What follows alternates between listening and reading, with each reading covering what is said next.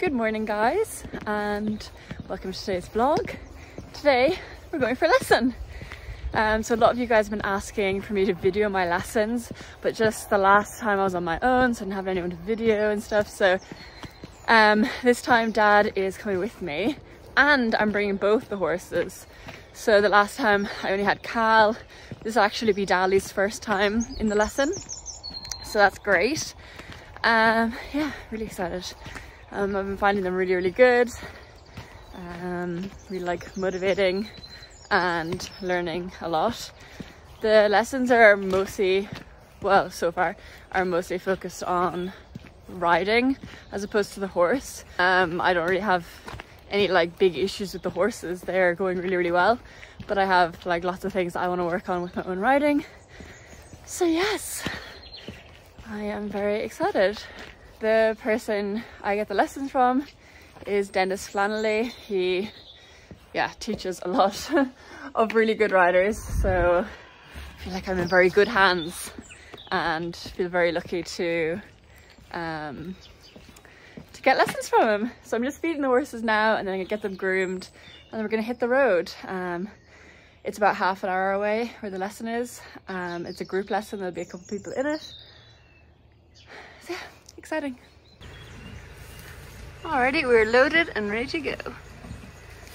Dad made me a little packed lunch, packed breakfast. How cute is that? Little banana sandwich. He also brought my iron tablets to watch to make sure I had enough energy. so we were. Dads are for. That's what dads are for. And he's driving me today. How nice. So yes, we're on our way to the lesson. I will just video it. I'll have to ask him if it's okay if we video, but I think it will be okay.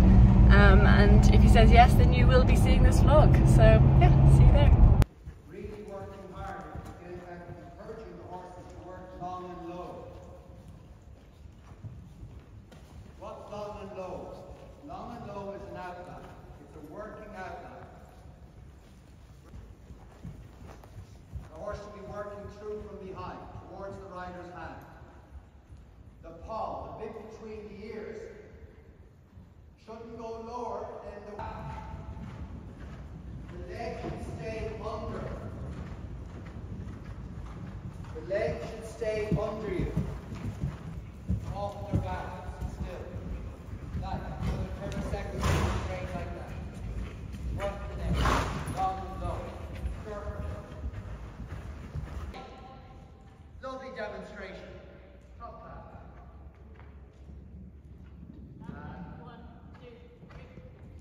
Land. One, two. How much better you do depends on your number. Make it so.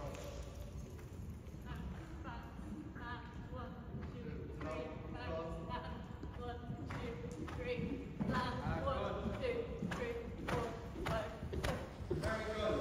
Turn up. Very, very much.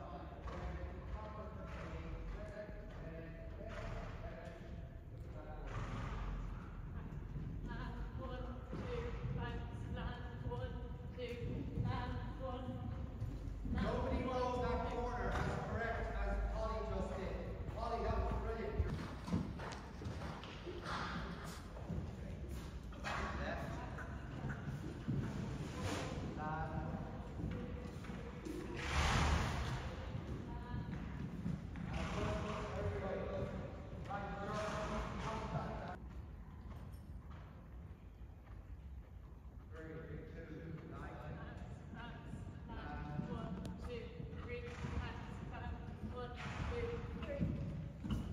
Did very well.